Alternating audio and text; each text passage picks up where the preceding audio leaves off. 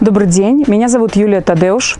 И сегодня мы немного поговорим о том, что нужно делать э, с розами летом во время цветения. Ну, кроме того, что мы наслаждаемся их красотой, а, конечно же, есть какие-то заботы, хотя они пока еще не очень обременительные, но в целом они есть. Ну, во-первых, прежде всего для продления цветения мы постоянно а, чистим наши цветочки. То есть вот все то, что у нас отцветает, мы удаляем вот такие вот Сначала вот в кисти мы удаляем просто цветочек.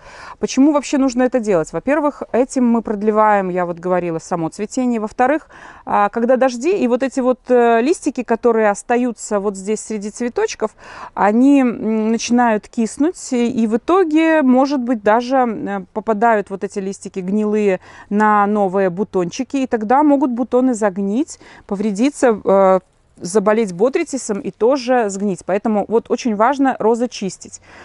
А, что касается вот таких вот, видите, у меня розы в разной степени, а, в разной стадии цветения.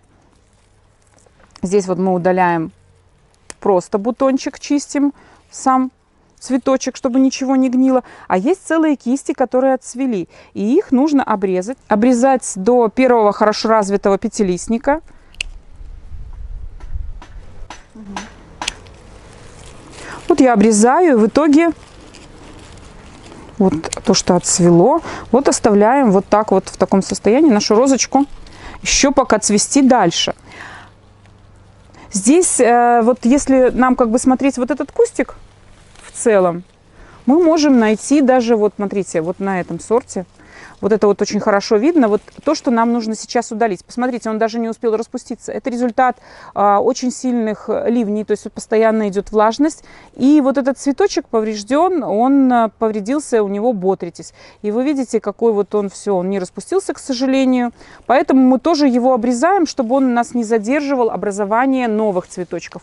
Вот с этой веточкой то же самое. Это сорт подвержен просто гниению такому во время осадков, поэтому надо вот за ним очень внимательно следить и сразу все удалять. И вот наш куст стоит и цветет дальше. Очень многие спрашивают меня вообще, что еще в принципе делать во время цветения, кроме как вот искать такие, обрезать то, что отцвело цветочки, то, что повредилось дождями.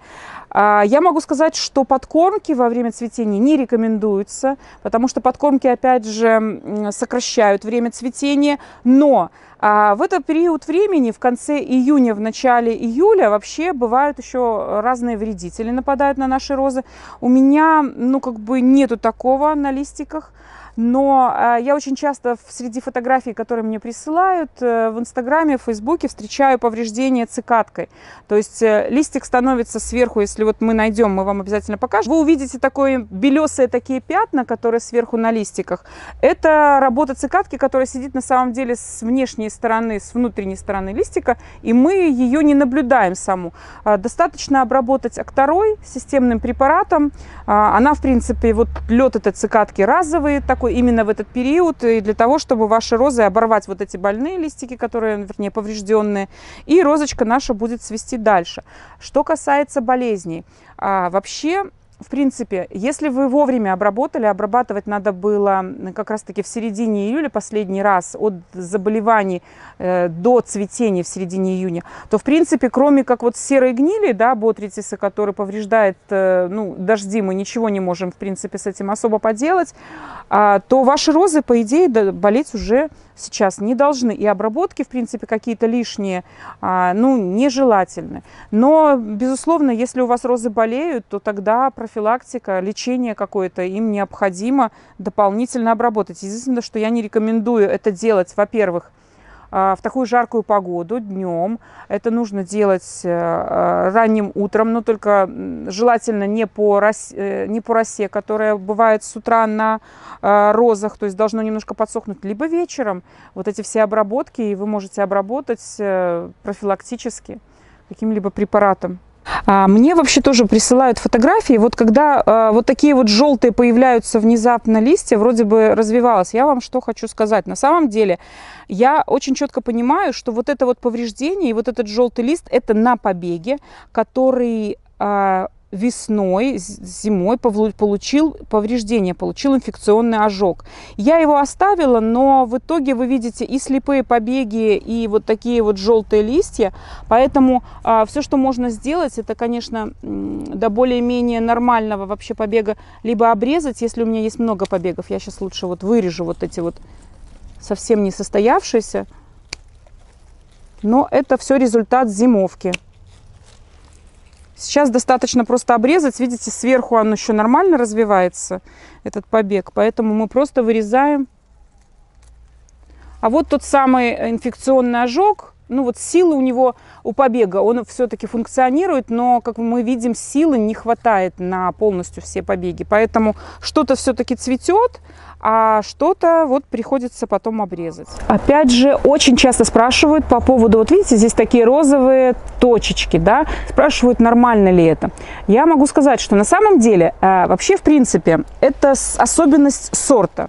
Особенность сорта реагировать так на капли дождя. И э, если как бы дождя, ну там не сильно много, то в принципе мы видим, что остальные цветочки зацветают нормально, мы просто вот то, что отцвело и покрылось пятнышками, обрываем и все.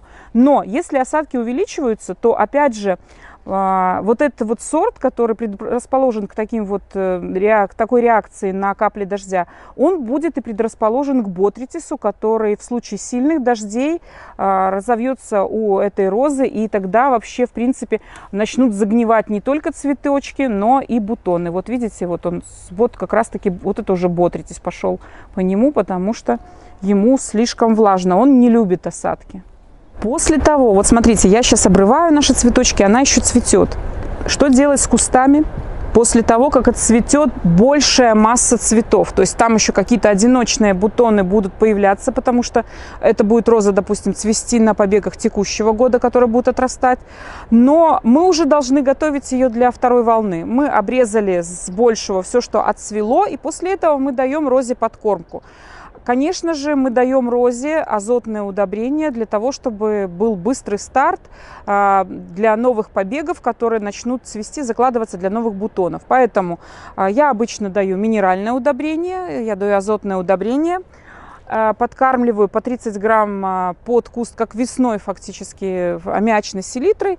И дополнительно можно подкормить э, либо настоем куриного помета. Если у вас есть э, там коровий навоз или у вас есть конское, конский навоз, то тогда вы им подкармливаете, в зависимости от того, что у вас есть. То есть мы подкармливаем и минеральными, и органическими удобрениями. В принципе, а, вот э, в нашей климатической зоне, да, то есть я имею в виду Минск, а, это вот такая основательная подкормка будет последнее, я бы сказала, за вот этот вот сезон, потому что дальше мы начнем постепенно готовить уже розы к зимовке и давать немножко другие удобрения, уже меньше органики, меньше азота и больше фосфора калия.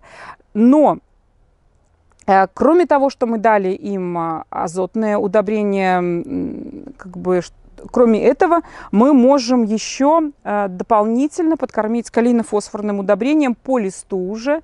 На этот раз тоже, опять же, для того, чтобы закладывались э, новые бутоны, для того, чтобы роза еще цвела хорошо, ярко и красиво. До новых встреч, красивых роз и удачи! thank you